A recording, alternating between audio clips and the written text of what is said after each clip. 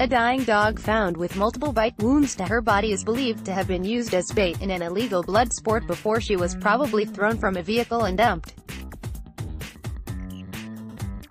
RSPCA officers have launched an investigation after the Chocolate Labrador and Staffordshire Bull Terrier cross dog was found in a horrific state at Rivacre Valley Country Park, off Rivacre Road, in Ellesmere Port.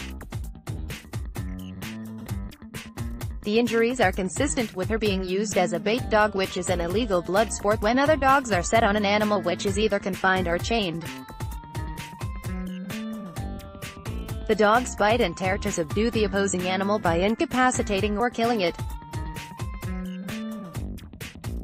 The dog is thought to have been used in an illegal blood sport. A woman was walking in the area with her young son when she came across the female dog, aged about two, on Monday, October 14 at 11 a.m. The dog was at the side of the country road which goes through the park, near the bridge which a stream runs under. She could see the dog was bleeding heavily from her injuries so went back to her car and got a sheet to wrap her in and took her to the nearby Animal Trust vets. Read more veterinary staff tried to save the dog, but she sadly died from her awful wounds which a vet has described as the worst she has seen. Paula Fazenda, the vet who treated the dog, said, this poor dog had multiple bite wounds across her body consistent with being attacked by a number of different dogs which suggests she was used as a bait dog.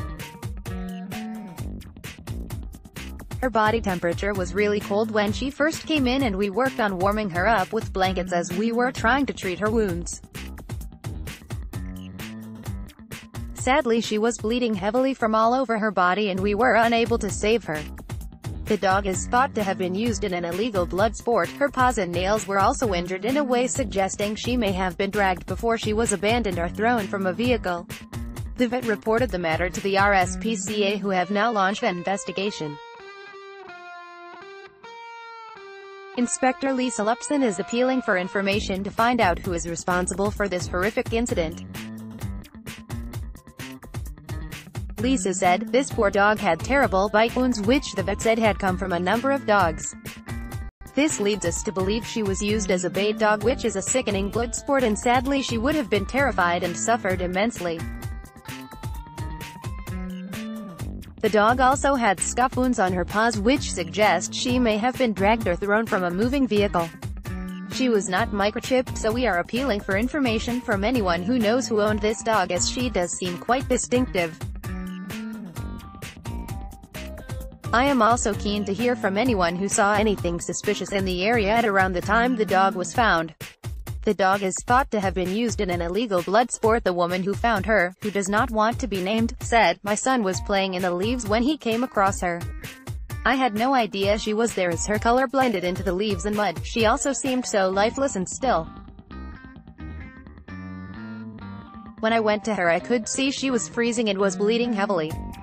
It looked like she had been attacked by a pack of dogs as there were huge bite wounds across her body. I went back to my car to get a sheet which I use for my dog and wrapped her in it and then drove her to the vets. When I got there the sheet was covered in blood and so was I read more. It is so upsetting to think she was left there suffering. It was tough when I found out she passed away but I am glad she had some pain relief and she was with people who cared and were trying to help her. I just hope whoever is responsible is found as this poor dog deserves some justice. Anyone with information should contact the RSPCA appeals line on 0300 123 8018 to help the RSPCA continue rescuing, rehabilitating and rehoming animals in desperate need of care please visit their website. Read more top news stories to receive one WhatsApp message a day with the main headlines from Cheshire Live, as well as breaking news alerts. Text news to